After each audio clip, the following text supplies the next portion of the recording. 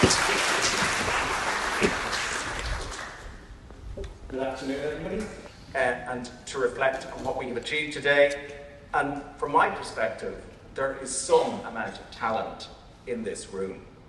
Uh, we saw it just so visibly today. It makes me very proud to be a member of this organisation. But let's get on with the thank yous. And the first thank you is to the attendees today. Thank you for being here. It is a huge vote of confidence in travel and in the ITAA. I want to thank everyone involved in what has been a lively day of presentations, discussion, disagreement, and most of all, conversation. And what I heard today is very much in the spirit of unity. We're competitors, but we're also allies, and we have very shared common objectives. With the establishment of the working groups and the energy and vision of new personnel, our industry has renewed its focus on the new world of travel and our place in it. But if we can move on to the thank yous, and I have to start with an apology. Because when I was talking about our partners and our supplier partners this morning, I missed out one quite significant and important group of people, and that was tour operators. So to Dave, to Dee, to Anne-Marie, Sunway, Julia, the tour operators in the room, you know, at my age, you do forget things. But moving to the thank yous, Eoghan, our MC, incredible knowledge and talent. It's good for you to challenge us, uh, and we do need to reflect on our time to shine. Debbie Dale, where is Debbie? I see Debbie. I love annoyingly positive. I think glass totally full is where we need to start the day. I think the leadership piece that Debbie called out is critical. There was so much from that session that we were all busily taking notes on.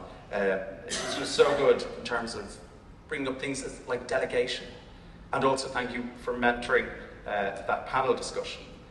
Uh, Kevin from the DAA, I think the honesty was pure bravery from the DAA. And I think he said one of the most important words, which is sorry.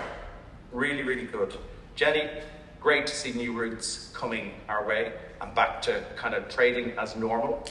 Uh, I also want to thank our hosts, Antonio, Christina, and Daniel.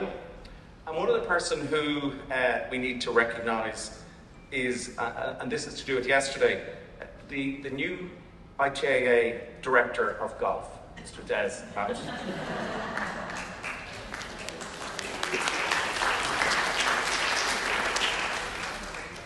For the working groups, Claire Dunn, Mara Shields, Linda Jones, Maureen Delmar, Tom Randalls, and Claire Doherty, thank you very much. Great to have new voices and greater engagement. On the panel, Dimitra Crowley, Jackie Sheehan, Martin Skelly, Deirdre Sweeney, Eoghan again, and Danny, thank you for your input.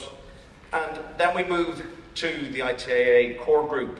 And please God, I don't forget anybody this time, or I'll have to remember it in tomorrow evening's speech. I want to thank the back office team. I want to say a huge thank you to Pat, to Jean, and to Lorraine, we should also thank here the hotel staff who have looked after us, the audiovisual guys, and everybody who's looked after and catered for us all day. Um, in terms of other people, Laura from Limelight is here for the first time. Catherine Byrne, just due to family circumstances, is not here, but Limelight are constantly with us. And Dolan, we may not have heard from Anne today, but I know from my point of view, and from your point of view, having Anne available to us through the year is just such a worthwhile piece. So thank you for, for being here with us again today. And coming back then to you guys, like, I hope I haven't forgotten anybody, but like, if I have, apologies in advance. But yes, thank you.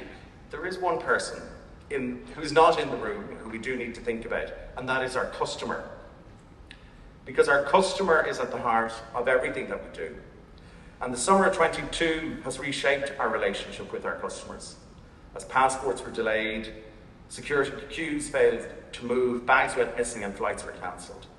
They were confused and nervous, and we were there to help them out. I cannot think of anything that defines a travel agent like the experience our customers will have had from us this year. So when I spoke at the ITAA last year, I committed to our mission to rebuild the industry and the service that we offer to our customers for travel in a safe, efficient, and financially secure environment. And that is exactly, believe at 8, we do it at 7.40. Thank you once again. Thank you all very much for your evening.